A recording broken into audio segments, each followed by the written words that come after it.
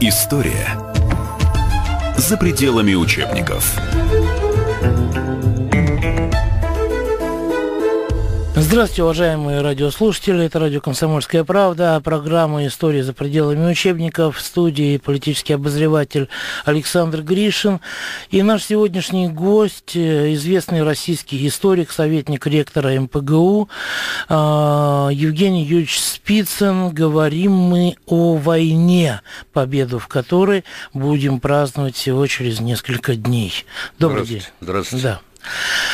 А, Евгений, вот вы знаете, у нас обычно получается такая ситуация, что определенная часть общества у нас он всегда возбуждается за какой-то период перед какими-то датами, да, вот перед днем рождения Ленина, например, да, а вот, перед днем Победы особенно, то и танки им мешают, которые репетицию проводят, то солдатики, то еще что-то, то сама Победа им уже мешает там, а вот, и от этой части мы очень часто извините за тавтологию, слышим обвинения в том, что Советский Союз, он фактически сам способствовал тому, чтобы Гитлер превратился в то зло, каким потом его и начал воспринимать мир. Мгм. Тут и Липецкая школа, в которой учились летчики Люфтваффе будущие, да, потому что Германия была у нас, ей было запрещено иметь авиацию боевую, да. Тут у нас, значит, и торговля, продажа а, древесины, продажа металла, руды, так, продажа зерна в Германию и так далее и тому подобное. Насколько вообще справедливы эти упреки? Да, конечно, эти упреки абсолютно несправедливы. Более того, э, очень часто факты подгоняются под уже заранее заданную концепцию. Потому что все то сотрудничество, о котором мы говорили, оно находилось в рамках межгосударственного сотрудничества любой страны с Советским Союзом. Ничего такого особенного здесь не было, в том числе то, что связано с, э, например, продажей каких-то ресурсов, того же металла, древесины или зерна. А теперь то, что касается э, того вопроса, коренного вопроса, я считаю, способствовал ли Советский Союз приходу Гитлера к власти.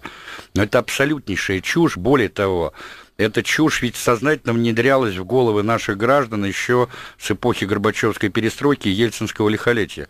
Достаточно сказать, что в 1992 году вышла совершенно мерзопакостная книжонка двух историков, Дьякова и Бушуева, это муж с женой. Книжка их называлась так «Фашистский меч ковался в СССР». И вот там приводились как раз вот те факты, о которых вы и говорили. Но совершенно очевидно, что обучение э, летчиков Люфтваффе в Липецкой авиационной школе никакого отношения к приходу Гитлера к власти не имело. К приходу Гитлера к власти самое прямое отношение имел э, финансово-промышленно-олигархический капитал стран так называемой западной демократии. Здесь речь идет прежде всего о британском капитале, о французском капитале и о американском капитале. Более того, речь идет о, э, ну, то, что мы сейчас назвали, такой вот э, финансово-промышленной закулисье, хорошо известные фамилии Морганов, э, Вайбургов, э, Рокфеллеров, Ротшильда и так далее, и так далее. Значит, какова была цель этих ребят? Да, я замечу вот что. Вы поймите, вот у нас очень часто называют период с 1918 по 1939 год, вот это 20-летие, так называемым межвоенным периодом. Хотя сейчас многие историки говорят, что это была передышка между двумя войнами. Почему? Потому что вот эта Версальско-Вашингтонская система международных отношений, которая создавалась по итогам Первой мировой войны в 1919-1921 годах, она, по сути дела, изначально была построена на провоцировании новой мировой бойни. Почему? Дело в том, что страны-победительницы в этой войне, ну, прежде всего, вот эта тройка стран Антанты, то есть Великобритания, Франция, США, они сделали все, чтобы создать э, вот эту Версальско-Вашингтонскую систему сугубо под себя, абсолютно не учитывая интересы всех остальных держав. И неизбежно вот подобная система международных отношений, она бы была, вызвала бы кризис. Это первое. И второе. Надо... Ну, скажем так, Германию просто не, не просто унизили. Ее опустили. Вот, не просто опустили, Да. ее еще и расхитили. Расхитили, Всю, конечно. так сказать, Ну, э, промышленное, забрали. да, промышленное сердце Германии, например, Рурский бассейн, его поставили под международный контроль, а фактически, э, значит, Германия никоим образом не имела права э, каким-то способом э, эксплуатировать вот эти вот гигантские залежи там угля, железной руды, то, что составляло сердцевину металлургической промышленности э, Веймарской республики. Ну, примеров можно привести много. Но когда мы говорим о том, что делал, например, э, э, западный олигархический капитал применительно вот к пришествию Гитлера к власти, ну, достаточно сказать, что именно вот стараниями этих воротил а, финансового капитала. А, были а, в 24 и в 30 году созданы два плана. Один из них назывался план Дауса, это 1924 год, а второй назывался план Юнга, это 1930 год, который предусматривал подъем промышленного потенциала Германии и привод к власти реваншистских сил. Цель вот этой вот операции – а, чтобы создать на территории Германии ударный кулак против первого в мире социалистического государства, то есть СССР. А, туда вкачивались огромные финансовые ресурсы. Но вот, например, по плану Дауса а, в экономику Германии было вложено более 4 миллиардов тогдашних долларов. То есть, если вот перевести на современный э, эквивалент, то это, ну... Я думаю, по более 100 будет. Да, многие экономисты, тот же Катасонов, они а. называют цифру в 100 миллиардов долларов. Представляете, какая гигантская сумма. Значит, аналогичные суммы были вкачаны в германскую экономику и по плану Юнга. Более того, был создан в 1931 году э, вот этот знаменитый э, банк международных расчетов в Базеле, в швейцарском, через который началась скупка акций всех наиболее крупных промышленных компаний Германии. Ну, достаточно сказать, что именно в этот период, ну, например, Э, вся нефтеперерабатывающая промышленность, производство синтетического бензина и так далее, они стали принадлежать американской компании Standard Oil, э, владельцем которой был Рокфеллер. А, ну, еще один такой вот характерный пример.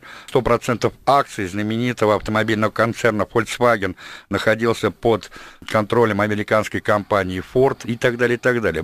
Э, где-то вот перед началом Второй мировой войны 280 самых крупных германских фирм, они в той или иной степени полностью находились под контролем англо-американского финансово-промышленного капитала. В том и потом... числе и концерн Farben Industry, да, индустрии... который делал газ «Циклон Б», да, да, он, да, да, которым да. умершляли и советских людей, и евреев, и всех да, остальных да, да, в концлагерях да, немецких. Да, абсолютно. Американцам, по-моему, да, АГ, да. Farben Industry. Да, да, да Industry, там, да, практически все в том числе, например, Фоки Вульф, как я уже сказал, да, вот эта э, знаменитая авиастроительная компания. Более того, я хочу сказать, что... Которая, которая не строила гражданские самолеты. Нет, это были сугубо военные самолеты, да. В основном бомбардировочная Конечно. авиация, и только где-то э, с началом Великой Отечественной у них пошли разработки э, истребителей тяжелых. Да. А, более того, я хочу сказать, что был такой небезызвестный министр экономики Третьего Рейха Ярмол Шахт, который потом э, в годы Третьего Рейха был министром э, промышленности, да, так вот, э, этот американский, прошу прощения, этот германский банкир, он, по сути дела, был связующим звеном между вот англо-франко-американскими олигархами. И он катался как челночник с этой вот Э, челночной дипломатии и продавал Адольфа Гитлера, так сказать, своим партнерам, заокеанским и э, близлежащим. Именно ведь э, с его подачи, по сути дела, вот эти все ребята там, ну, я, Прескотт Буш, например, это... Из этих Бушей? Из этих Бушей, из, из этих, этих самых Бушей. Кеннеди, из тех же самых Кеннеди. Из этих же Кеннеди. Ну, конечно, конечно. Это Меллон, например, министр финансов США, который занимал эту должность более чем кто-либо. А, например, тот же Джон Рокфеллер, а, Дюпон и так далее. Вот эти все ребята, они в той или иной степени поучаствовали в том, что они по сути дела, дали добро на а, приход Гитлера к власти. Вот на этом интересном месте мы должны уйти на небольшой перерыв, но вы оставайтесь с нами. Мы поговорим о многих еще более интересных вещах после перерыва. История за пределами учебников студии радио «Комсомольская правда» политический обозреватель Александр Гришин и известный российский историк Евгений Юрьевич Спицын, советник ректора МПГУ. Мы говорим о Великой войне, о Великой победе и о мелких людях, которые пытаются принизить подвиг нашей страны. Слушайте, я вам больше хочу сказать. А вот вы обратите внимание, а почему э, Гитлера привели к власти именно в 1932-1933 годах? Не раньше и не позже. А здесь ларчик открывается очень просто. И на это, кстати, обратили внимание целый ряд проницательных ученых, и экономистов, и историков. Тот же Валентин Катасонов, тот же Юрий Жуков. Дело в том, что в конце 1932 года мы завершили первую пятилетку, во время которой было построено более четырех с половиной, я подчеркиваю, это крупных промышленных предприятий. И вот тогда вот более четырех с половиной тысяч, тысяч, да? да. И вот тогда вот этот вот финансово-олигархический капитал понял, что Советский Союз задушить экономически нельзя. Все. Они вот упустили это время, когда можно было придушить Советский Союз. То есть гигантские темпы экономического роста и вот эта индустриализация, начатая Сталином, она привела их в шок. Причем это на фоне хорошо известного депрессии, пол... депрессии ползания, конечно, мировой капиталистической экономики вот в эту великую депрессию. И тогда они поняли, что единственным инструментом, который был способен остановить Советский Союз и уничтожить его как альтернативную систему и экономики, и политики, и идеологии, и всего, что хотите, может быть только война. А для этого им нужен был человек, который способен был эту войну, что называется, возглавить и повести э, на убой миллионы и миллионы людей. Вот Гитлер как раз и приходит в этот период к власти. И вот обратите внимание, что я вот тут интересную цитатку нашел, да. Смотрите, надо еще понимать, что 32-33 год, 33 год, это приход Рузвельта к власти. Это так называемый новый рузвельтовский курс. Это вот кенсианство, которым у нас пропето немало аллилуйю. А, но при этом заметьте, что уже э, в 37 году вот эта вот кенсианская модель экономики, она начала сдавать сбои, а к 39 году загрузка всех промышленных э, мощностей американских корпораций составляла всего порядка 33-34%. И не случайно, оценивая экономическую обстановку в США в этот период, а, один из ближайших советников Франклина Делано Рузвельта, Тагуэлл, писал, в 1939 году правительство не могло добиться никаких успехов. Туман туман мог развеять только могучий ветер войны. Любые другие меры, которые были во власти Рузвельта, не принесли бы никаких результатов. Вот вам и ответ, кто вскормил Гитлера и для чего. И кому была нужна война? Конечно. Да? Поэтому все вот... Э... Чем больше, тем лучше. Конечно. Не, ну... Просто... И поэтому все россказни, значит, зарубежных, заокеанских, европейских партнеров о том, что Советский Союз несет какую-то равную ответственность или равно великую ответственность за развязанную войной, это все из разряда тень на плетень. А прямыми, а, значит, прародителями Гитлера а, и прямыми его, так сказать, кукловодами были именно англо-американские банкиры прежде всего. А для чего это было понятно? 1938 год, э, да, Гитлера ублажают, чтобы он в Мюнхене, чтобы он не развязал большую европейскую войну да. То есть, если война была, с одной стороны, нужна, то зачем тогда надо было так вот оттягивать ее, переоттягивать? Вот эта Мюнхенская конференция, зачем? Объявили бы войну. Ну, там тогда. тоже было не так все просто, поймите. Дело в том, что то, что мир втягивается во Вторую мировую войну, стало совершенно очевидно с начала 30-х годов. Еще до прихода Гитлера к власти в 1932 году тогдашний народный комиссар иностранных дел Максим Максимович Литвинов, он выступил с идеей Э, создания системы коллективной безопасности в Европе. А, понятно, что эта э, идея, она была рождена не в голове самого Литвинова, а это была установка высшего политического руководства страны, то есть прежде всего Сталина, Молотова и других. А, и эту идею, как ни странно, поддержали и в некоторых европейских столицах. Ну, достаточно назвать имя э, министра иностранных дел Франции Луи Барту. Это так называемая Восточная Лакарна, были все-таки и в Европе здравые люди, которые понимали, что э, возможный агрессор в Европе должен быть остановлен именно системой. Но, э, как известно, Луи Барту был убит, причем э, историки установили, что вот эта спецоперация под названием «Тевтонский меч», она э, готовилась именно в Берлине, и одним из участником этой операции был небезызвестный Отто Скорцени.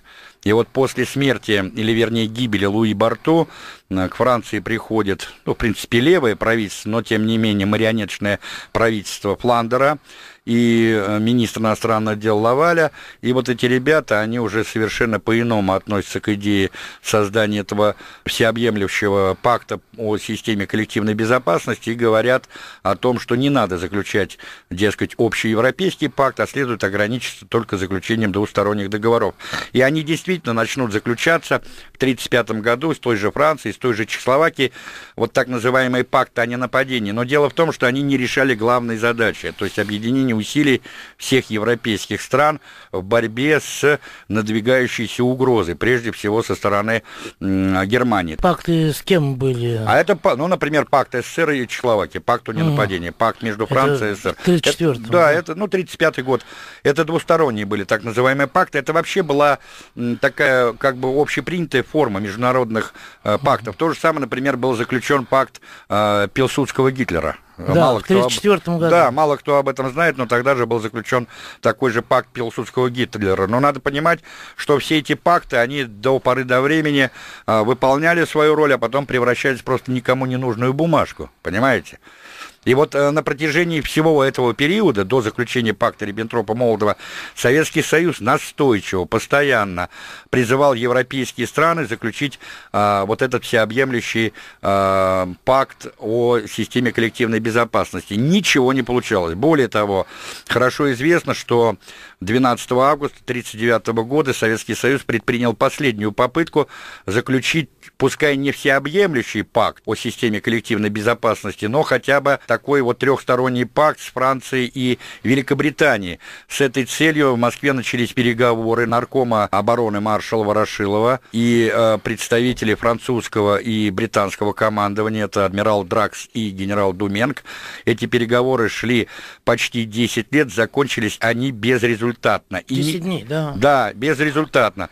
Причем у нас очень часто говорили, что, дескать, это Сталин, э, когда принял решение подписать пакт э, с Гитлером, он Климу Ворошилову послал личную записку и написал там, Клим, кончай крутить шарманку, нам эти переговоры больше не нужны. Но дело в том, что есть свидетельство самого генерала Думенко, который был представителем французского генерального штаба, который прямо писал, что именно Советский Союз был больше всех заинтересован в заключении этого договора, и только непримиримая позиция Польши, которая отказывалась пропустить советские войска через свою территорию в случае начала Европейской войны, не позволила нам подписать этот пакт. Вот кто. А нам поляки сейчас... Ну, Польша и в 1938-м не позволила. Да. Ведь, А нам поляки сейчас все время, что называется, ставят в упрек то, что мы, дескать, э, приняли участие вот в этой агрессии против суверенного польского государства. Вообще, надо сказать, что Польша в тот период играла самую паскудную роль в международной политике.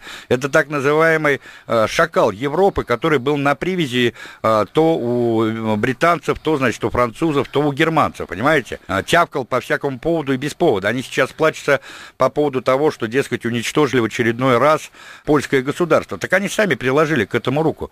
Вспоминайте, вот, э, например, то, что касается Мюнхенского сговора. А, что происходит? Ведь вопрос о том, что Чехословакия будет расчленена, а вернее от нее будет отторгнута Судетская область, знаете, когда был решен? Да это было решено еще в начале э, сентября 1938 года. Президент Тайного Совета Великобритании, лорд Рейнсемен, а, он участвовал э, посредником в разрешении так называемого первого судетского кризиса. А хорошо известно, что Судетская область, населенная этническими немцами, она вошла в состав Чехословакии по итогам вот Первой мировой войны, то есть по условиям Версальского договора. Когда Именно он, кстати, вел переговоры с Эдуардом Беннешем, это президент Чехословакии, и заставил его, по сути дела, пойти на уступки вот этим судетским сепаратистам. Как только он покинул Прагу, а Тут же на территории Судетской области вспыхнул вот этот хорошо известный мятеж а, под руководством Генлейна, это лидер местной нацистской партии, который был открыто поддержан Берлином. Как только этот мятеж вспыхнул, буквально через пару дней премьер-министр э, Великобритании Невил Чемберлен уведомил Гитлера о том, что он готов посетить его в любое время для решения вот этих вот проблем. И он, у них действительно состоялась встреча в Баварских Альпах, то есть он сам в гости приехал к Гитлеру, и э, потом прошли межправительственные, э, значит, переговоры между Чемберленом и Деладье, которые на самом деле заставили главу чешского правительства Милана Годжа э, капитулировать перед германским э, напором. Вот на этом интересном месте мы должны уйти на небольшой перерыв, но вы оставайтесь с нами. Мы поговорим о многих еще более интересных вещах после перерыва. История за пределами учебников.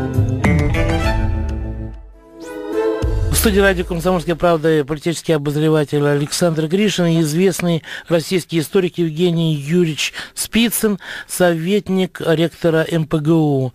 Мы говорим о Великой войне, о Великой победе и о мелких людях, которые пытаются принизить подвиг нашей страны. А про Тешинскую область, там на этой конференции ничего не решили?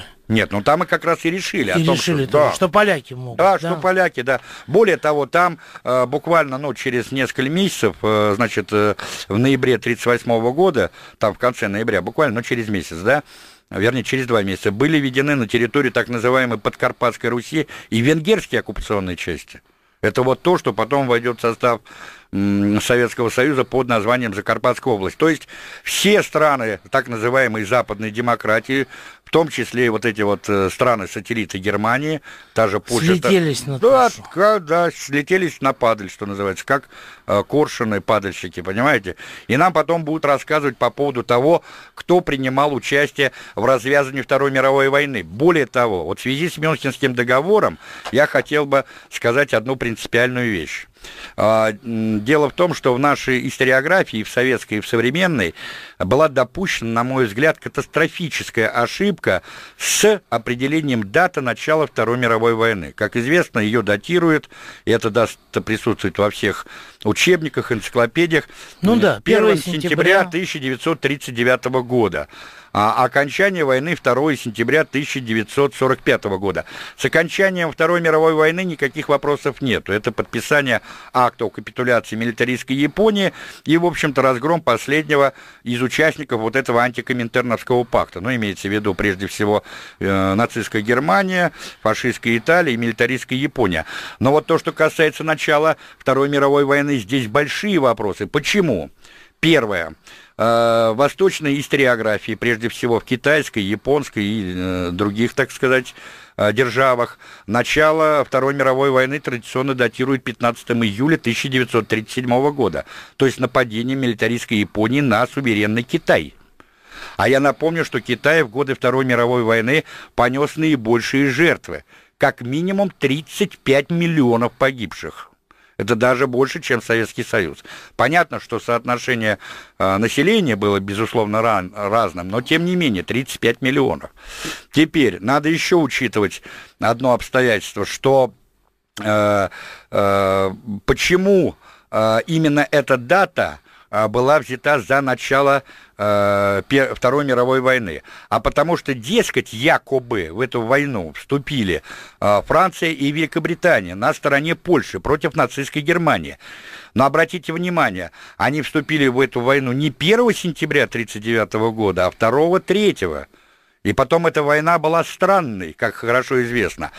А теперь у меня возникает законный вопрос. Когда обвиняет Советский Союз в том, что он был союзником Германии во Второй мировой войне, а тогда почему же в 1941 году, в июне, когда Гитлер напал на Советский Союз, Великобритания заявляет о полной и безоговорочной поддержке Советского Союза в войне против нацистской Германии. Где логика, извините? Они же так ввели ее уже. Так вот, где логика-то, понимаете? А ларчик открывается просто. Смотрите. Пакт Риббентропа-Молотова был подписан 23 августа 1939 года после провала англо-франко-советских переговоров. А план войны против Польши Гитлер подписал, то есть утвердил уже, в апреле 1939 года. То есть за 4 месяца до подписания пакта Риббентропа-Молотова. Первое. Второе. А, значит, уже 6 сентября, то есть через 5 дней после начала войны Германии против Польши, передовые части вермахта подошли к Варшаве. А 14 сентября польское правительство убежало в Люблин, а оттуда в Румынию, а из Румынии уже в Лондон. Значит, командующий э, польской армией отдал приказ, э, значит, не воевать с советами. А, но дело вот в чем. А, ведь Берлин а, шесть раз вот в этот период, то есть с 1 по 14 сентября, посылал депеши в адрес советского руководства вступить в войну на стороне Германии против панской Польши. Советский Союз эти депеши игнорировал.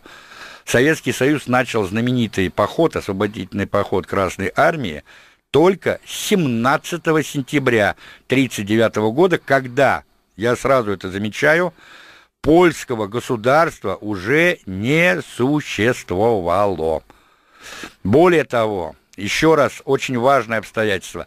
Советский Союз, начав этот освободительный поход, вышел только на так называемую линию Керзона, то есть ту западную границу Советского Союза, которая была определена еще по условиям Версальского мирного договора по так называемой э, депеше или ноте э, лорда Кирзона, то есть министра э, иностранных дел Великобритании. Более того, тогдашний э, лорд э, значит, Адмиралтейства, э, будущий премьер-министр Уинстон Черчилль, он прямо заявил, что Советский Союз имел полное право выйти на эту границу.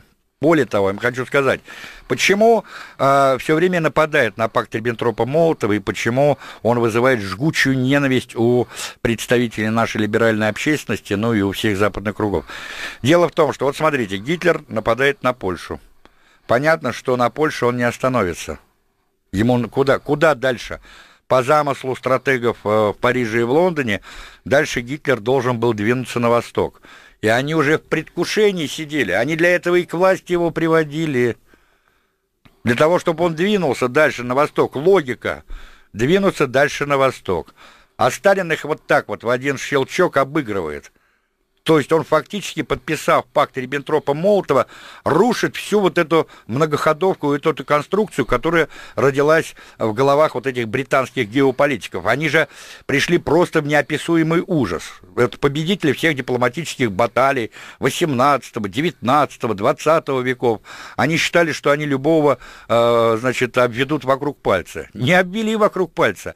И Гитлер двинул свои полчища на запад. Но мы хорошо знаем, чем это закончилось да. для европейских да. стран. То есть они рассчитывали, что он пойдет дальше туда. Да. Поэтому так и странно воевали-то, на самом деле. Об этом деле. и речь, да. Вот все это время. Странная да? война, да. Вот, потому что они не ожидали, что война переместится на Западный фронт. Ну, Конечно. кстати говоря, а, отметим еще отдельно, что Гитлер до 1939 года, где-то до весны, по-моему, 1939 года, а, разрабатывал планы германский генштаб и о том, что они вместе с Польшей нападут на Советский Союз. Почему? Наверное, чем можно и объяснить э, вот это вот наглое поведение Польши – потому что она считала себя союзником немцев. Mm. Вот, и, так сказать, германские части, они пойдут с севера и с юга, а Польша пойдет по центру воевать против СССР. Но почему-то почему-то Гитлер вот взял и ну, дело в том, что... И надо... переменил свое решение. Да, но дело надо, дело понимать, надо понимать так, что дело в том, что Польша, она вообще всегда была в особых отношениях с Германией. И так между нами девочками у польской политической элиты, я не говорю про польский народ, а у польской политической элиты всегда даже зуб э, был более по отношению к Германии, чем даже к России. Понимаете, несмотря на то, что в составе России целое столетие было так называемое царство польское, потому что не следует забывать, что Пруссия наряду с Россией и Австро-Венгрией принимала участие в знаменитых разделах Речи Посполитой еще во времена Екатерины II. Понимаете? Вот это вот особое истории взаимоотношений поляков и немцев. При этом, при этом на противоречиях немцев и поляков всегда играли французы, а потом англичане. То есть, если первую половину XIX века, где-то вот до польского восстания 1863 годов, а там первую скрипку играли французы, то уже потом вот последняя четверть XIX века и особенно начало XX века, первой половины 20 века.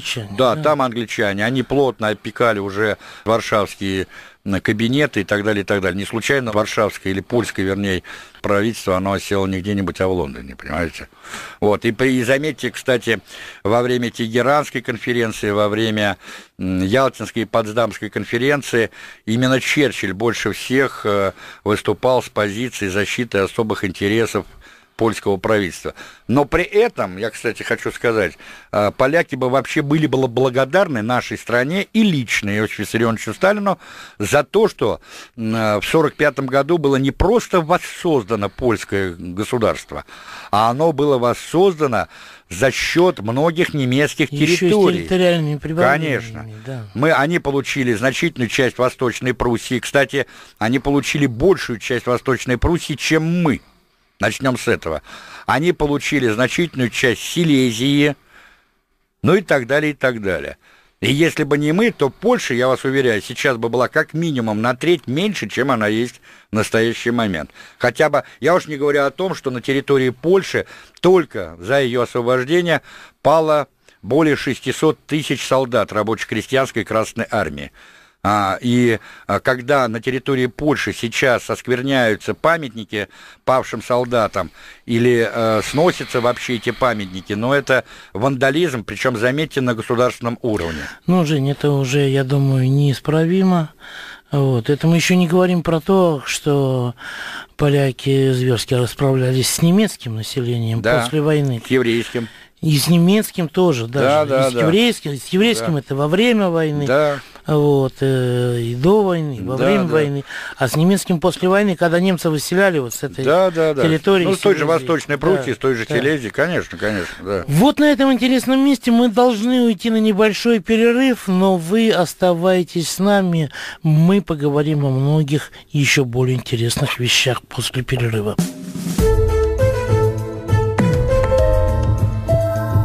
История за пределами учебников.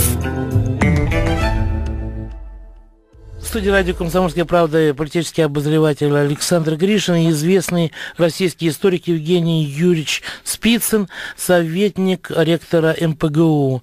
Мы говорим о Великой войне, о Великой победе и о мелких людях, которые пытаются принизить подвиг нашей страны. Меня поразило, что и Польша, и Советский Союз, они как бы вот на первой начальной стадии войны они выглядели ну вот так одинаково как-то неэффективно mm-hmm. в противостоянии с немцами.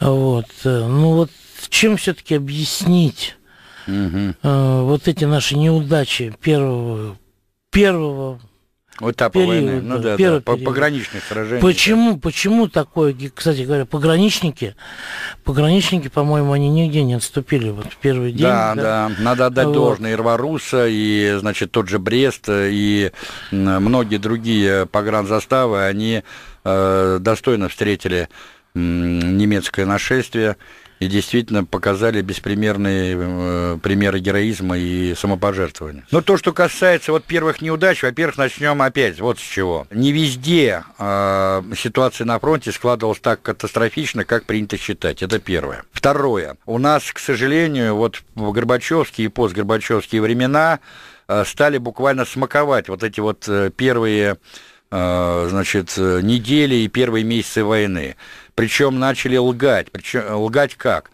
Ну, например, на тех же цифрах. Например, э, тех, тех же пленных, которые были взяты в первые месяцы войны, я имею в виду солдат рабоче-крестьянской Красной Армии, говорили, что чуть ли не вся рабоче-крестьянская Красная Армия была взята в плен э, в первые месяцы войны, там 3-3,5 миллиона человек. А, на самом деле это ложь. Кстати, эту ложь и сейчас кое-кто постит. А, серьезные историки э, специально занимались этим подсчетом. Ну, в первые месяцы войны в плен попало порядка 500-550 тысяч. Это много, но это не 3 миллиона человек. Это с чем связана вот такая разница в цифрах? Ну, начнем с того, что немцы вообще всегда завышали число взятых в плен. Ну, это общепринятая практика. Мы как бы занижали, они завышали. Это первое. Второе. Ну вот человек, например, попал в плен. У меня вот дед попал, например, под Вязьмой плен. Он бежал. Вот он бежал, и он потом, ну, прошел через э, соответствующие, значит, э, проверку и так далее, вернулся на фронт. А кто-то бежал, а потом опять попал Что, не расстреляли его? Нет, не, не расстреляли. Не расстреляли. Нет, нет, нет, не расстреляли. Он из Вяземского котла Ужас, вышел. ведь да. фильтрационные лагеря, все. Нет, ничего это, этого не было. Нет, нет, действительно, он особый отдел проверку проходил, потом он просто э, был возвращен, кстати, в той же должности. То есть не всех расстреливали? Нет, не всех расстреливали. Ну вот. А, значит, а потом вот человек... Я, я так думаю, что вот если брать цифры, то расстреляли, наверное, все-таки абсолютное меньшинство. Да, да? конечно. Это причем... И расстреляли в основном тех, кого засылали. Диверсантов, конечно. Конечно, диверсантов, либо перевербованных. Тогда же вслед за вермахтом шли вот эти аборовские школы, где, э, значит, быстренько готовились на скорую руку вот этих вот э, перевербованных диверсантов для осуществления каких-то диверсионных акций, для добычи каких-то секретных сведений и так далее. Потом, например, вот он бежал из плена, потом вторично попал в плен, потому что была же неразбериха и так далее. Его считали за вновь взятого в плен и так далее. Вот, по, вот в связи с чем была связана вот эта вот неразбериха с этими, э, с цифрами. А то, что касается причин поражения, много э, причин, это многофакторные причины. В свое время Жуков э, Георгий Константинович в своих мемуарах в общем-то, правильно написал, что для нас э, был неожиданен не сам факт э, внезапного перехода немцев границы, потому что все к войне готовились, знали, что война будет вот-вот, а сила и направление ударов немцев на главных направлениях, где они имели 6-8-кратное превосходство. И вот потом вот современные историки, которые стали изучать вот эту проблему на базе архивов, они установили следующую вещь. Дело вот в чем. Действительно, немцы, и это отдать, надо отдать им должное, они создали к началу войны с Советским Союзом четыре мощнейших танковых группы а, численностью 150-200 тысяч человек каждая. А, значит, это танки, это Э, мотопехота, это подвижная артиллерия и так далее, и так далее. У нас таких э, танковых групп, э, которые по своим масштабам были равны ни одной танковой армии, не было. Мехкорпуса, конечно, не могли сдержать вот эту вот махину гитлеровских войск. И вот это обстоятельство, то есть создание вот этих танковых групп, это имеется в виду э, первая танковая группа генерал-полковника Клейста, вторая танковая группа генерал-полковника Гудериана, третья танковая группа генерал-полковника Гота и четвертая танковая группа генерал-полковника Гёпнера. Это вот четыре танковые группы, которые принимали участие на первом этапе войны. Это первое обстоятельство. Второе обстоятельство. Надо иметь в виду, что, конечно, у нас э, разведка э, сплоховала, военная разведка вот на первом этапе войны мы не смогли, например, предупредить быструю ночную переброску этих танковых групп по всему фронту. Ну вот э, два примера, чтобы было понятно. Почему наши войска попали в окружение под Киевом? А ведь была возможность э, держать вот этот Днепровский рубеж. Э, Гудериан бы не смог ничего сделать силами своей второй танковой группы. Почему? Потому что э, севернее был создан Брянский фронт генерал-полковника Еременко, и он довольно плотно держал Гудериана. То есть дать возможность Гудериану зайти в тыл войск Юго-Западного фронта генерал-полковника Кирпоноса Гудериана не было. Но в этот период с юга, с плацдарма в районе Николаева, это низовье Днепра, значит, была проведена немцами блестящая операция по ночной переброске войск первой танковой группы э, генерал-полковника Эдвальда фон Клейста на Кременчугский плацдарм и наша разведка профуфукала вот эту переброску. И после того, как вот эта вот э, танковая группа была сосредоточена на Кременчугском плацдарме, они ударили и прорвали оборону Юго-Западного фронта и замкнули, э, значит, клещи вот восточнее Киева. И попали в плен наши войска, часть из них незначительно вышла, но, кстати, в плен попало опять-таки не 650 тысяч, как у нас представляют, попало значительно меньше. Там тоже тоже счет шел на сотни тысяч, но не 650 тысяч. То же самое под Вязьмой произошло. Что произошло под Вязьмой? Опять-таки, 4-я танковая группа из-под Ленинграда, это 4-я танковая группа генерал-полковника Гёпнера, она была переброшена под Вязьму. Опять-таки ночью скрытно наша разведка опять проморгала все это дело.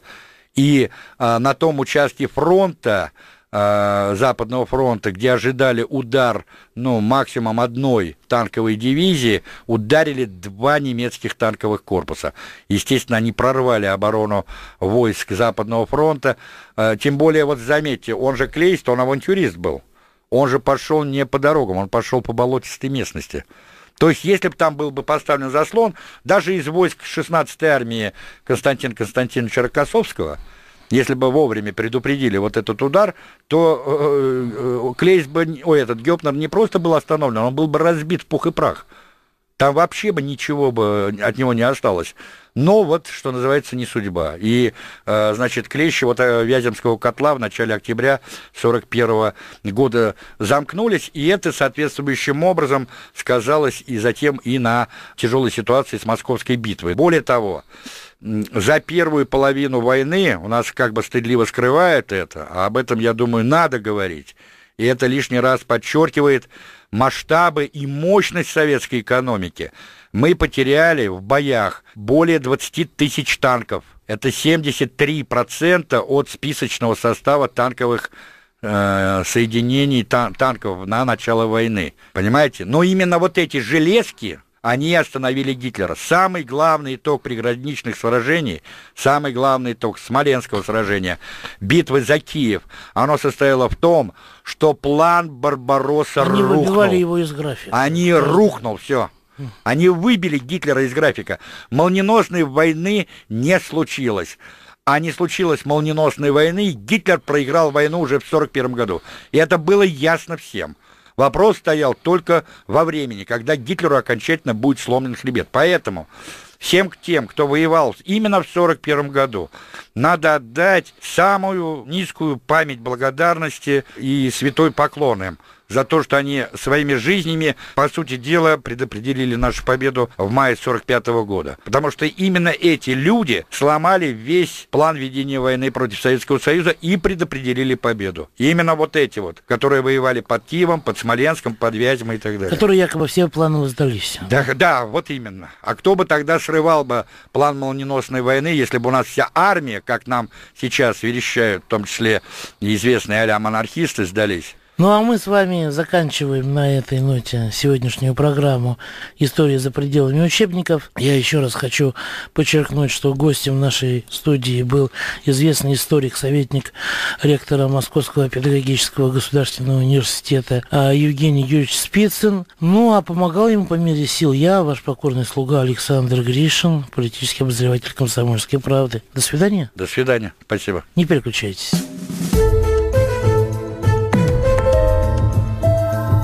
История за пределами учебников.